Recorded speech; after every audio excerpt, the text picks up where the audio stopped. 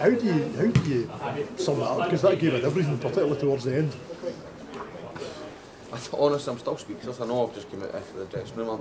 I'm absolutely gutted, to be honest with you, uh, because going down to 10 men, eh, uh, was trying to kind of change our formation again. Eh, uh, second half, we came out, we've got a weather storm, but I don't think Andy created too much against us. We got two banks of four behind the ball. Cam up his shift. We made a few uh, substitutions. brought on at the top end of the pitch, and I thought a substitution contributed to the game uh, massively today. So full credit to every one of them. Uh, but I'm honestly, I'm same again. Like, I'm devastated to be honest with you because I'm gutted for the boys because they put in a great shift. We go 2 1 up uh, and we lose a, a goal where the boy steps inside the pitch. It's a longer shot. It deflects off Rory's legs and finds itself in the back of the net. Uh, but listen, that's the things that happen to us now, and it's probably happened most of the season. But we're just looking for that wee bit of luck, and I don't really think we've got that now. Uh, but as I say, I'm no complaints whatsoever because our endeavour, our work rate, everything was there to see today. And even when we get down to 10 men, we're still trying to pass the ball, and still trying to do the right things in the final third, and, and that full credit to the boys. Talk about gutted, but actually that second half performance, surely you can take something from that down to 10 men. And arguably, I thought Stirling looked hungry the two sides in the second half. Yeah, 100%. That's listen, that's, that's what we're, we're trying to achieve here. I know I keep saying that, but, but that's what I want my teams to be. We want them to be hungry and have that desire to go and run that extra yard and go and help your teammate out. Uh, and today I thought they'd done that, uh, but unfortunately we've came here. Listen, and they're a good team. Uh, to come away from here a point on a day, but just the manner, the manner we've obviously lost the goal when we two, two one up, 87 minute and we lose a goal. Uh, but listen, same again, full credit to every one of the boys. I thought they worked their corner and unfortunately we just didn't see it out. So many red cards. Oh, listen, I'm not going to get involved in red cards. Uh, the referees made a decision.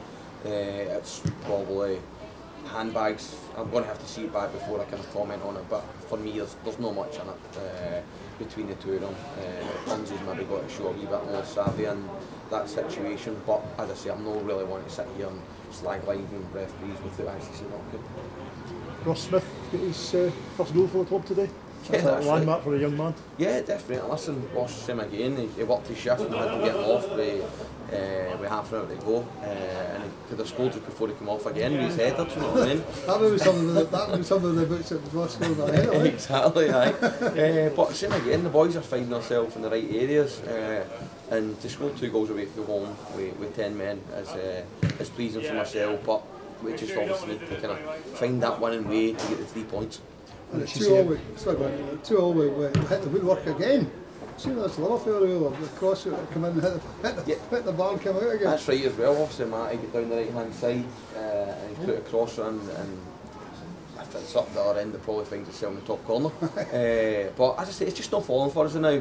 Uh, and just the wee decision with Matty, the back stick, uh, he, the, the linesman declared them offside. And I don't, I don't think he was offside because uh, he came he came from behind them and the, the linesman probably sees Matty Yates first before he actually sees the defender because he came at the back of him.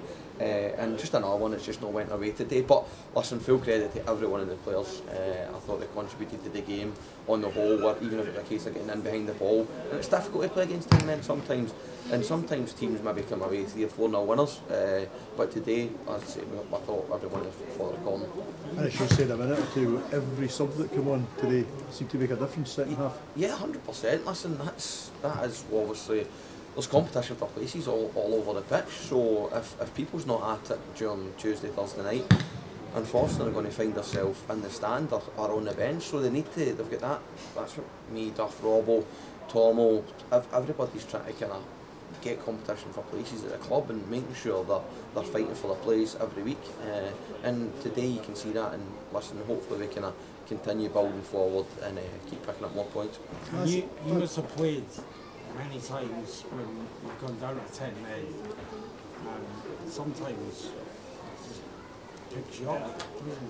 Yeah, listen, probably when I was... Spirit uh, kicks in. When when it was me, uh, I was probably maybe the one that was sent off, I wasn't, I wasn't actually kind of in, in the team with the 10 men. But no, I, I know what you're saying. Listen, it's, it's difficult to, to a play against 10 men because it is hard, but you just get two backs and four and the striker just basically hunting down centre half. So it's a difficult one to play against. But as I say, I thought we handled taking down to ten men really, really well. Uh, and we do it with kind of overloads and things like that training as well. So it was uh, it was pleasing on my behalf there. And when you've got a full bench like that, Jamie, it means you've got options, uh, uh, switching things about, you can change things as you need to.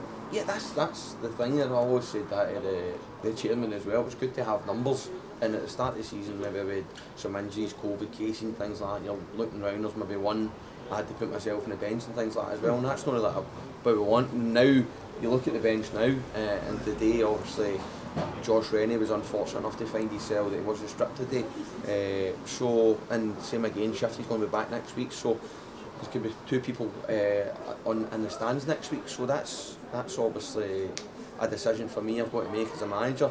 And if people aren't performing at training, then they're not going to be involved. And then that, that's not me saying Josh hasn't been performing.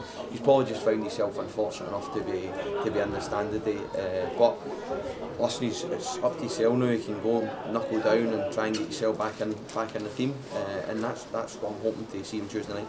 You're talking about next week. I just wanted to ask you that League Two is getting pretty interesting and pretty messy with some of the results today. Steny winning at Stirling.